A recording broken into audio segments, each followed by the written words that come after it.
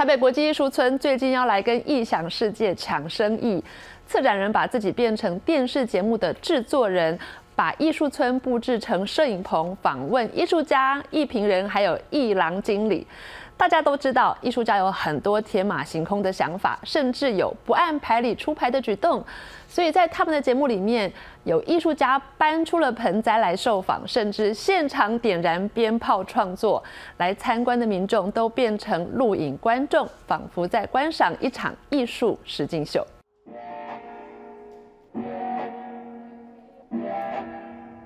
大家好，欢迎收看艺术频道，我是节目主持人曹良平。群生纷杂的展览现场，一改你对艺术空间的想象。各领域艺术家变身摄影师、灯光师和音控，加上道具桌椅，台北国际艺术村变成一间电视节目摄影棚。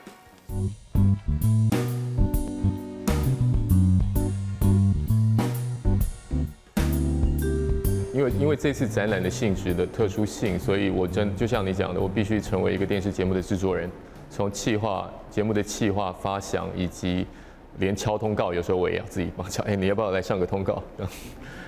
策展人曹良斌第一次当节目制作人，还要身兼主持人串场，控制现场秩序。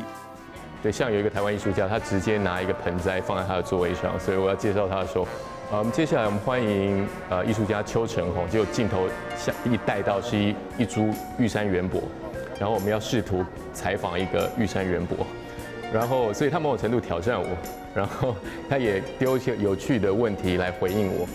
录影现场甚至有来宾直接放鞭炮进行创作，不按牌理出牌的艺术家性格令人难以招架。曹良斌以节目形式介绍驻村艺术家的作品，并开放时间让艺术家直接打广告。他希望借由这三集名为“艺术频道”的节目，凝聚艺术圈的成员，也从中探讨当代艺术中展演与表演、展场与秀场之间的关联和异同。我们讲一展览在英文叫做 show，一个表演，一个一个展览。一个秀，那那个秀的成分是是什么？就是那个展演跟表演之间，很多人上电视节目，现在有一个 camera 看我，我我某种程度，有些人会太 camera conscious，太意识到被观看这件事情的时候，他会很不自在，然后会有一点表演的成分，没办没办法很自然。但是可是有些人可以，你你没有办法理解，就是这个录影的过程中，其实有时候。那真的是一个，你真的觉得他在表演，那或者是他就是，他明明不是做行为艺术的，但是你觉得 不知道为什么有个东西架在那里，然后他他会他会把一些人的一个内在的状态，他会勾勾引出来，好像撩拨召唤出来，对啊，所以我也还在试图理解那个录影过程发生的很多的事情。